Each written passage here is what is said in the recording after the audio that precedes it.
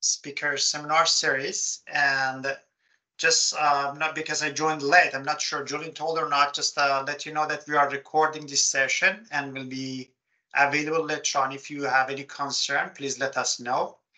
It's my great pleasure to introduce Dr. Graham Plastow, and it was my honor to work with Graham for a long time.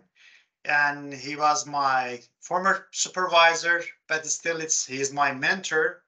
And Graham is CEO for Livestock Gentec. As I know, Livestock Gentec at the University of Alberta established to kind of to transfer uh, the research result that get into the industry. And as I know, we have had a successful program through the Livestock Gentec. And Graham was one of those people that early adopter for the genomics. As I remember, he was kind of the, those early person that used the PCR technology to do some work on the genomic side. And he has done many work on the genomics and uh, metabolomics and you, you, you call it omics. So then he has a great experience working with industry for I believe for 25 years and about 15 years working in academia with many publication and many trainees, including myself. And uh, yes, he has really great impact on the beef and the pork industry in Canada and, and probably in the world, I would say. Graham, please just go ahead and the floor is yours and uh, go ahead, please. Well, thank you very much for that very kind introduction, and it's great to uh, be with you today. I apologize for, for not being there in person. Um, but anyway, let's see, um, let's talk a little bit about um, omics, and I'm going to focus on beef and pork. Uh, let's, I was I was recalling, I think it's more, it's at least 20 years that I was in Truro last, but I was also thinking this morning, well, what what was my first job? I don't know why. Don't try and calculate because you won't. You, we used to begin working very young in England, I, I, assure you. But my first job was actually um, at the world's largest duck breeding company. I was still at school, by the way. But uh, so maybe that set me down this uh, road of working with animals.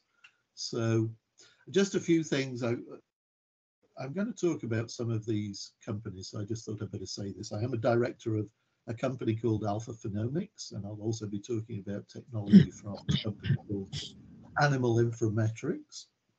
I'm also a member of the AgSights Board of Directors, um, but there are other uh, organizations who do some of the things we're going to be talking about. And we have funding from a lot of industry organizations, as Ghader just mentioned. So very briefly, well, what is Livestock Gentec? It's a not-for-profit centre and focused on developing genomic technologies for the livestock industry and developing those technologies, but also trying to get them adopted. Um, and that's part of, of what I'm going to talk about a little bit today.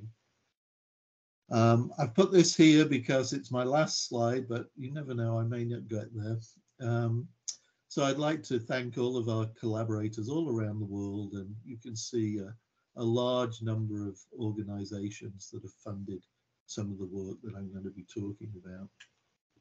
And when I'm teaching, I always try and, and tell our students how exciting it is to work in, in agriculture. That's why I'm still doing it, I think, is because it is so fundamental to to the world and the opportunity is huge and there's an old slide here talking about increasing population uh, increasing energy demand climate change of course and the prediction that we'll need twice as much food as we were producing an old slide but in the 35 years having to double food production if population is continue, going to continue to grow and of course livestock um, despite all of the uh, the alternatives, is livestock is going to be a big part of world agriculture in that period.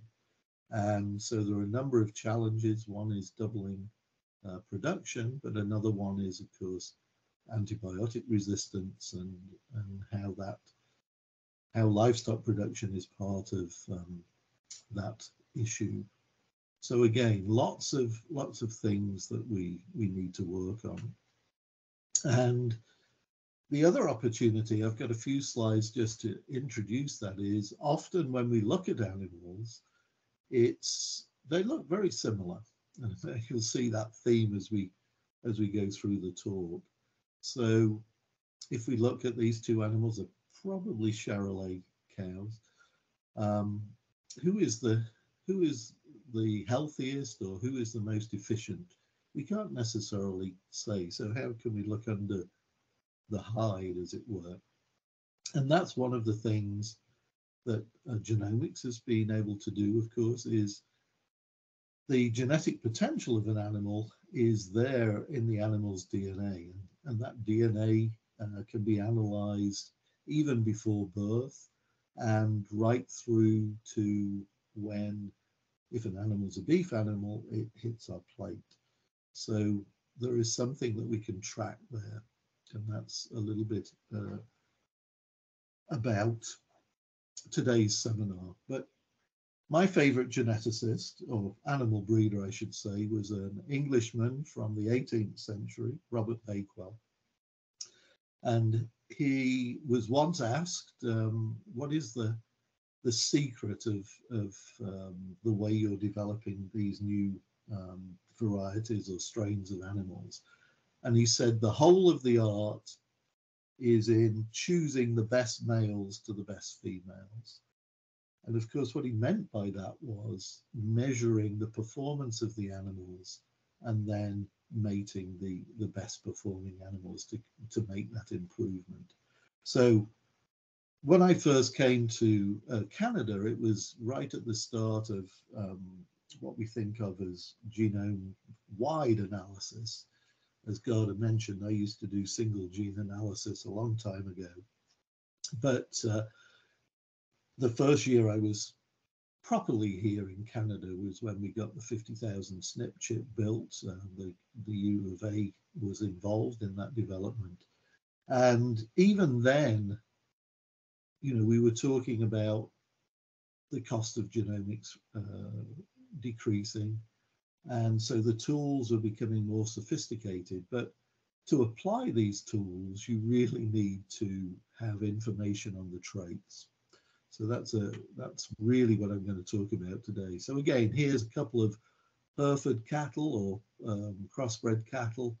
Um, you can't tell the difference. They're very similar size, and this is work from uh, uh, Cattle and Feed Yards. It was presented at the Gentec conference um, in 2003, not 2103. But you can see their initial body weights were the same, their growth rate was the same, but they got to the end point in a very different way. And so, how can we select animals that are going to be more efficient? Something that's uh, very important as we go forward in terms of sustainability. Here's a pig example, uh, combined lit litters here. Uh, but you can see most of these animals look very, very similar. And so what can we do to um, to predict their uh, potential. And as I say, they we can look at their DNA and we can begin to ask questions about um, what does it tell us about the potential of the animal, and where does genomics help? Well, the, the phrase we've used for many years now are for traits that are expensive or difficult to measure. So in the bottom left, you've got some pigs waiting to go into a, um, a feed intake recording uh, equipment, a fire station, as we call them. Um, costs a lot of money, takes a lot of time. Of course, you can only measure meat quality. There's an example there, uh, again from pigs um, after slaughter. And one of the areas I'm particularly interested in in cattle, but uh, all, pigs, but also cattle is disease. And here you can see some pigs probably started out looking very similar like this. And in this case, you can see some differences. So here's a skinny pig.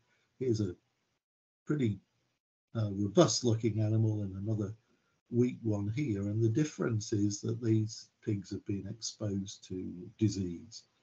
So they're they're reacting to disease in a different way.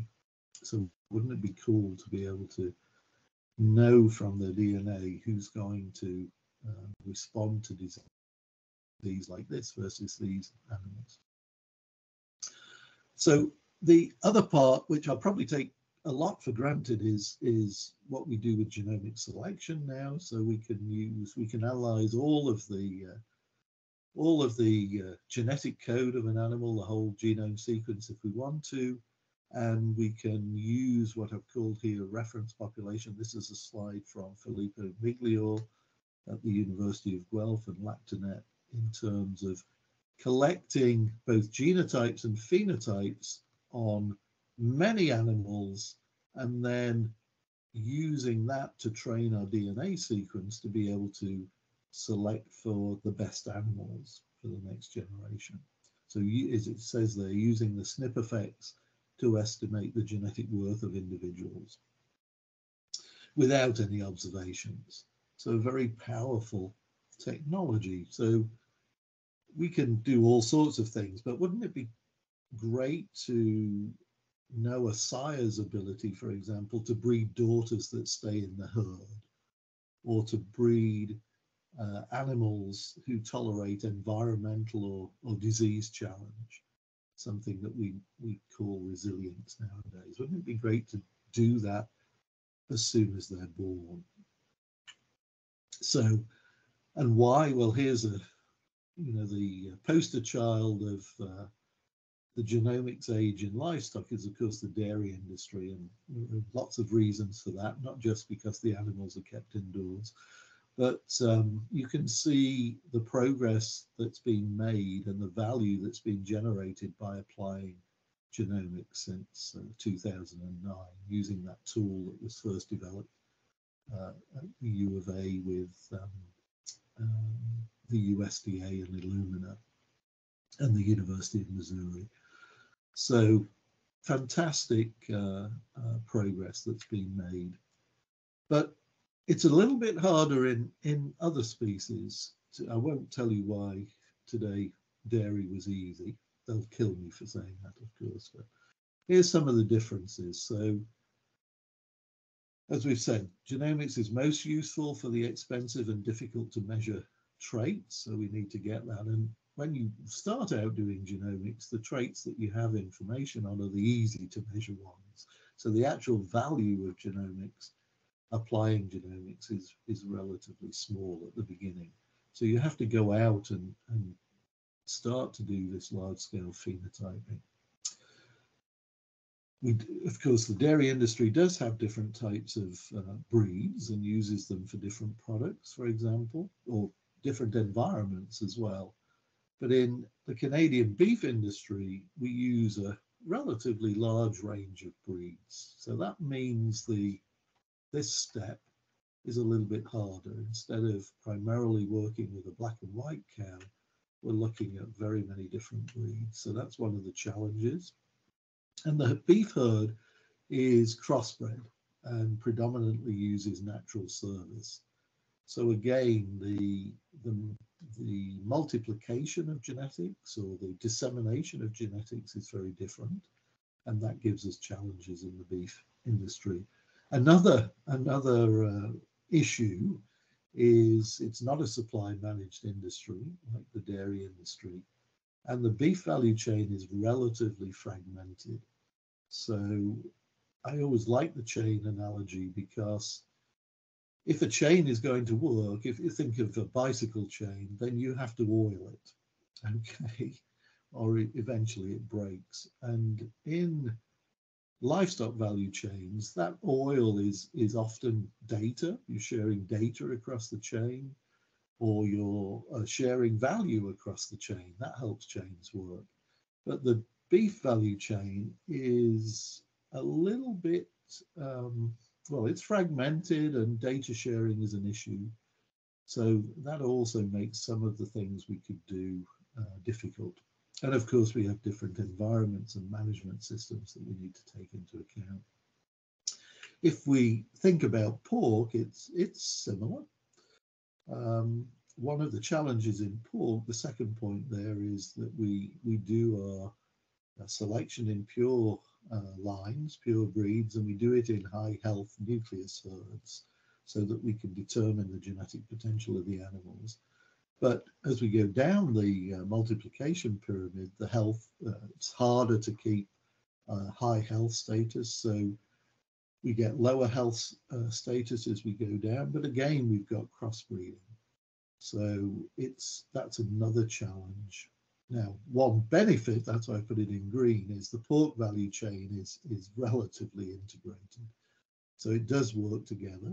That's one of the reasons we're able to uh, to um, make such improvement in the pig side. But again, there can be different environments and management systems.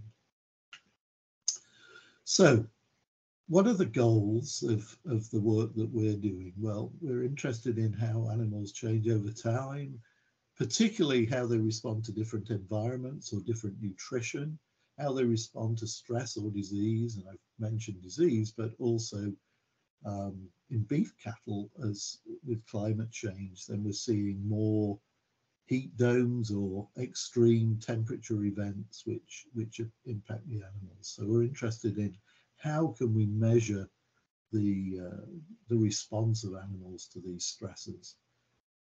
Sort of going to the molecular level, how do the different omes that we can measure interact and how can we use them to improve our predictions?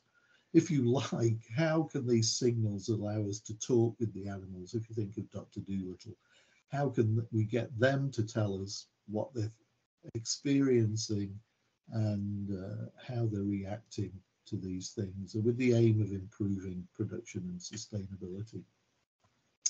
Very quickly, I, I probably don't have enough time to talk about all the examples, but Resilience in the dictionary, it's the capacity to recover quickly from difficulties, toughness.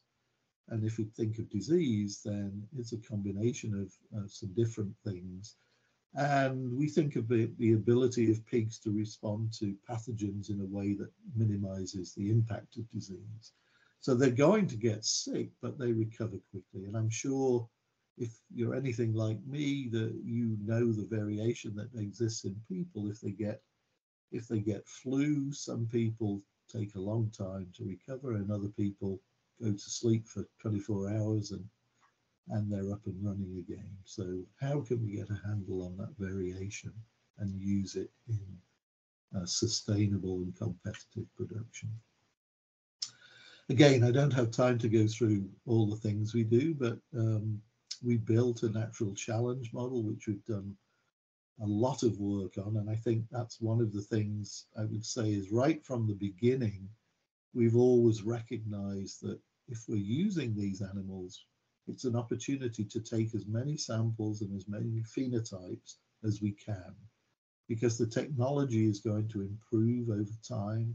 So if we're collecting blood samples, we collect blood samples at three points, actually four points, but three points here that we use to do all of these different molecular assays, RNA-seq, proteomics, metabolomics, microbiome, all of those things. So we build up a huge data set, in this case, looking at how all of these animals respond to disease challenge. So thinking ahead, because when we started this work, there's no way we would have thought we could do RNA-seq or proteomics on 4,000 pigs. You know, that's would have cost far too much. But what we've seen over the last 15 years is, as we predicted, the cost of assays has reduced. So in fact, the most expensive part of what we do is actually phenotyping the animals. And so what are the technologies that we're going to be using going forward to help us breed the animals that we need for the future? So just a, a, few results. We, we built this natural challenge model because we, we wanted to mimic um, the commercial situation, uh, but collect all of these samples, which is difficult to do in a commercial environment. And uh, so we've done that. We found heritable variation, of course, for growth, for feed intake curves, but also mortality and morbidity. and some of them show uh, value as predictors of uh, phenotypic and genetic resilience. And ultimately, we want to be able to convert that to genomic prediction, taking into account that we're dealing with crossbred animals, purebred animals, but then what, how are they going to perform at the commercial level when in the crossbreds? So, and building that model, we're able to develop new technologies, or we have a model where we can capture phenotypes, but also look at new technologies. And here's an example. It's an infrared thermography or a heat map of the pigs. You can see the individual pigs. We can measure the temperature. And in the disease challenge that we set up, we, could, we found that the change in the temperature of the individual animals was a great early indicator of sickness. Uh, and it was earlier than feed intake. So one of the first reactions to all of us, humans included, is of course you get sick and you lose your appetite. So um, before the uh, pen walkers could see disease or before the animals stopped eating, we could see their um, responding to disease by changing their body temperature. And as I say, Al Schaefer at Animal Inframetrics, he's been working on infrared thermography for a long time, is you can also use the same technique to, to begin to get an indication of their feed efficiency. So again, using infrared thermography, we're using the same technology to look at disease, but also um, predict the feed efficiency of animals. And it can be done um, it's a one-off measurement. It can be done in seconds as opposed to growing animals for 70 or 80 days in a feed test. So just thinking about beef. So for the last 15 or so years, we've been uh, collecting our data on crossbred cattle because, as I say, that's the population we really want to improve. So we have genome sequence on more than 350 bulls um, part of an international project. Uh, lots of genotypes, what we call high density genotypes, so we can impute to genome sequence. More than, well, probably 30,000 animals with predicted sequence, millions of SNPs now. But then importantly, uh, lots of records of dry matter intake, uh, feed efficiency, carcass traits, all of these things that cost a fortune to measure or take time, like mating opportunities in terms of predicting fertility or stayability in the herd. And more recently, and um, collecting information on methane emissions, greenhouse gas emissions, so that we can help select for animals which are um, going to produce less greenhouse gases the other thing that's important in the work we do is, is trying to work out the relative contributions of the different breeds. Here you can see we've got 14 breeds. We can use the DNA to uh, help us with our genetic analysis, taking into account where uh, what breeds are involved in these crossbreds, or in this case, a composite herd that we use at the University of Alberta Research um, Ranch. So one of the things is trying to work out how good your predictions are. So we call them molecular breeding values because remember that dairy example, they're based on the DNA sequence. They're not based on the phenotypes, although we've we've done all, all of the phenotyping. So here you can see we've done the studies on 18 traits and we're developing good accuracy now. So accuracy sometimes doesn't translate, but um, that accuracy is the equivalent of having uh, generated 10 to 20 calves for these different traits. So very, very powerful. And then we do independent valuation, uh, validation on a, a new set of animals from uh, new sets of traits. And, and we've done that with uh, carcass data from Cargill here and working with different companies, Beefbooster and Herd Tracks, to do that commercially. So one of the uh, tools we've developed is, is what we call the feeder profit index. And this is something that we're working with um, different size of producers. We've found the forage associations in Alberta are a great place to work with to, to get people interested in how to use this. We use 4-H clubs to, to sign up uh, people to, to test out this technology. You can see our index is based on different elements and it combines uh, hybrid vigor as well as um, uh, additive genetics. And let's see, I think, oh, no, I don't have it. I thought there was another part of this slide. It's missing. Anyway, we'll have to look at that graph on the right. You can see that for each 100 points in the index, um, then on average, the progeny generate $29 extra uh, income. And this is the, uh, the range of uh, that we would typically see. So again, it's um, a nice way um, to get the technology adopted at the commercial uh, level, not at the uh, the breed associations here, but helping commercial producers do a better job of, of managing their herd. So a little a little bit thinking about new technologies, who's he eating what, when, and why. Those are some of the things we want to know. And here, so we can use GPS collars. We can use, you just see a pedometer down here. We can use um, feeding stations or um, breathalyzers, green feed station here to measure methane emissions. This is a Starling, by the way, not a, a wearable. Um, and so we can use drones to monitor the animals and use um, videos. For example, um, John Church at Thompson Rivers has been looking at respiration rate during heat events to uh, to look at the uh, response of individual animals to uh, uh heat stress.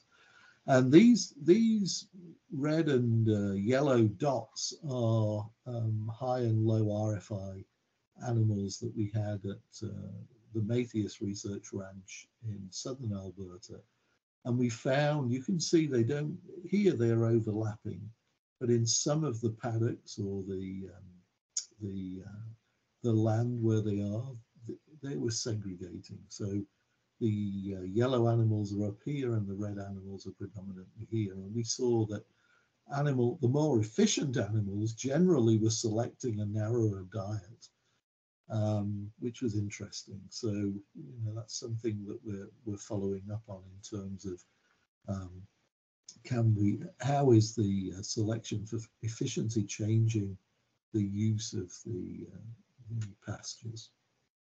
So again, I've I've run on, but uh, I think the challenge now is is the phenomics part of omics, which is collecting all of this information, um, using sensors, using uh, particularly imaging, because you can uh, you can get this information without um, being invasive. You don't need a blood sample.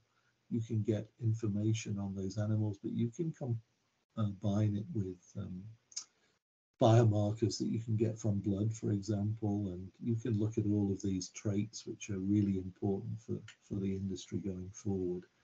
And as I say, lots of lots of uh, options. Here's a, a, company that began in Scotland, IceRobotics.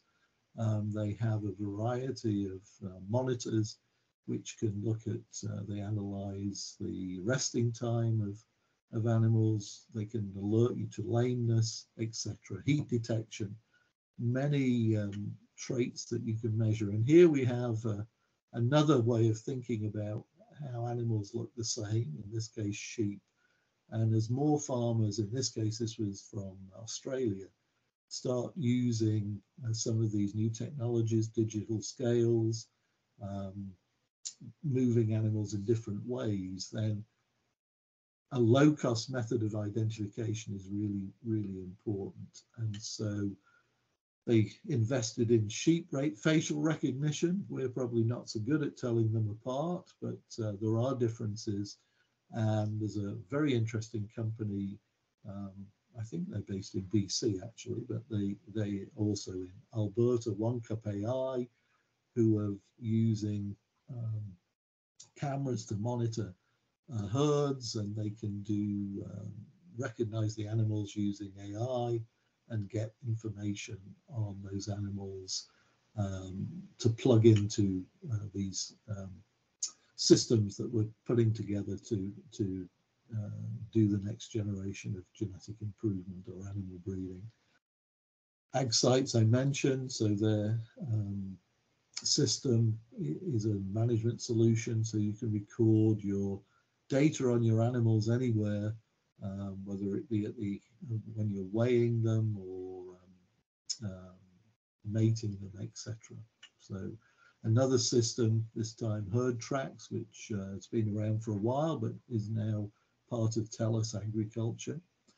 The uh, communications company, again, developing tools to track and identify the best animals uh, to produce. Here's another example, this time from Ontario, a company called Transport Genie, and using these sensors to monitor all sorts of different things, and particularly during the transport of animals. So again, lots of opportunity. And as Arthur C. Clarke said, um, any sufficiently uh, advanced technology is indistinguishable from magic. And nowadays, we used to say genomics was just like that, you know, but how do we go from the genome to the phenome using uh, the Internet of Things? And that's one of the things that we're investing in a lot. So again, going back to that first example, which of these animals is um, healthy or more efficient? And this is uh, using infrared thermography. You can see they have a different heat pattern, these two animals. And when you measure uh, by traditional means the um, the feed efficiency of those animals, then they're very, very different. So they look uh, similar to our eye, but using some of these technologies, we can get more information. Here's a gratuitous example of me using one of these cameras, uh, not just to, uh, to, um, look at the thermal pattern, but in this case to get a 3D image of the animal so we can predict its weight using machine learning. And uh, so we're building models, or the aim is to automate that analysis to capture a 3D model and to predict the weight of the animal or the body composition of the animal so we can and ultimately to predict the carcass value of the animal and uh, again so this is what the multispectral camera that alpha phenomics have developed looks like and it captures both the uh, 3d model but also the uh, the thermograph of the animal and so a lot of our research is now supported by results driven agriculture research in Alberta, but also federal funding from CAAIN to get these technologies to work for us. So the final message, it's all about data, data collection, but also data sharing, as I mentioned, and learning how we can use these omics uh, technologies for us to uh, improve production and sustainability. So here's some of the people that uh, we work with. And uh, last slide, I think, because I've used my time, and you can recognize at least this individual here on the left. A big group, but uh, lots of fun, lots of opportunity, and lots of excitement. So thank you very much. Excellent. Thank you so much.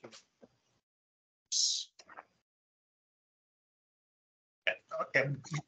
I'm trying to find you. There you go. I found the page. Good. Yeah, good. Thank you so much, Graham.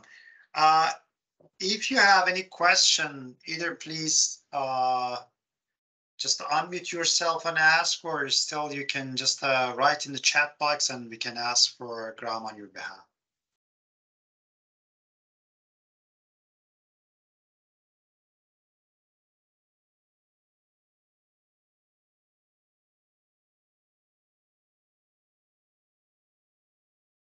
Hello, can I pipe in?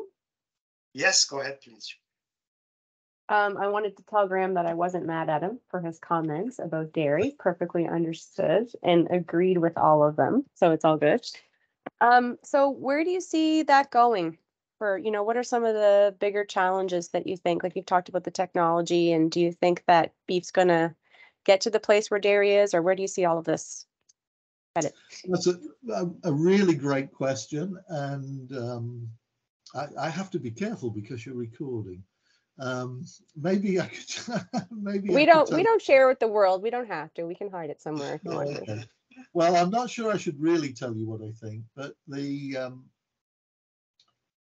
you know, I, I, I spent a lot of my uh, life in vertical integrated uh, businesses uh, when I was in industry, and you know, it's it's really important to get things to work, to to build systems that work, and the beef industry is, I mean, that's why it's been successful. It's it's the people who are in the beef industry have a way of working which which doesn't necessarily fit with collaboration if i can say that. So i would say the opportunities are there but but maybe we have to change the industry. And that's a huge job right? So we're working at the ground level which is I, discovered this many years ago is you know people want to see that the technology works. And and so we spend a lot of time um, demonstrating if you like that if you, if you do if we give you this information we can predict which animals are going to stay in the herd. You know you're going to do your selection but we'll we'll give you these values. I think one of the producers just said to us uh, i can't remember exactly his phrase but he was just amazed you know, unfortunately, we gave him the results after he'd made his his uh, decisions, but he could have seen how how he would have been able to keep the animals that he, he, he should have kept if he'd had those results beforehand. I used to think we only needed to tell one or two people and they would do all the broadcasting for us, right? They would say, oh, you should work work with livestock Gentec, It's it's marvelous. But I generally find that everybody wants to see it work on their their property. So that's a challenge. I'm not sure if I answered your question. Yeah, no, we we're talking a lot about tech adoption, so I think that hits the nail on the head, right? It, it's there, it's so complicated to I don't want to say persuade people to adopt technology, but for us as developers to develop the right technologies at the right times, at the right places, at the right cost, um, because as, as technology becomes more and more available, farmers are inundated with opportunities to invest, and you have to be careful that um, you don't oversell because you could just spend all your money on technologies that don't have a return on investment, right? So I think I think Yes. that's um, that's really prudent for us to think about as as developers and as intellectual property managers, you know, that we're paying attention to the marketplace as well. So Yeah, It's all and I- think I think sometimes re, I mean research we're researchers, so we get excited by the technology, we get excited by the results, we get excited by the detail. But sometimes you don't need to tell everybody everything, right? I my favorite example, it's a very old one now, but we used to uh, in it's an example from the UK. Uh, it's probably similar here in to some extent in Canada is, and it's a pig example. So there, it's a it's a market is very uh, about lean meat. You know, we we trained everybody to only buy pork that was um, had no fat in it, right? Didn't Yep. cook necessarily very well, but anyway, that's what we fat was bad, so that's what we did. So um, the abattoirs paid for the leanest pigs. And so we used genomics to be able to identify the best um, sires to, to do that. But we didn't need to tell them the detail. What we did was we um, we benchmarked, if you like, the performance of the herd, the progeny that were coming through the barn. And then we said, well, switch switch half your barn to this semen and see how you do. And they they knew the technology worked. That was genomic selected semen because they got a bigger check from their Yeah. abattoir. So that's all they needed to know, right? We're going to change Make more money. and you can make more money. So Yep. yeah, exactly. So Excellent. think, thinking about what it is you're going to deliver to the, the customer is probably the most important thing. Oh, that answers my question. Thank you very much. Good question, good answer. And we do have one compliment for you, Graham, from Paul. Uh, Paul is our colleague at, I think he's working on the soil management, and he's saying that uh, I have got to head out, Graham, but I really appreciate seeing how you implemented different technologies into your approach to measuring it. Very neat, take care. Any other question or comment? Okay. Looks like there's no more question. So then, uh, if that's the case, thank you so much, Graham, for your time. I really appreciate it. And on behalf of my team, Julian and Rim, we really appreciate your time. And thank you so much, everyone, for joining us today. This is our last seminar, but still, if you have any people to nominate, please get in touch with us, then we can arrange for the next session. Okay. Thank you so much, everyone, and take care. Thank you, thank you all, and uh, I apologize for not being there. I'll make it one day, I promise. Sure. Okay. Take care. Bye-bye.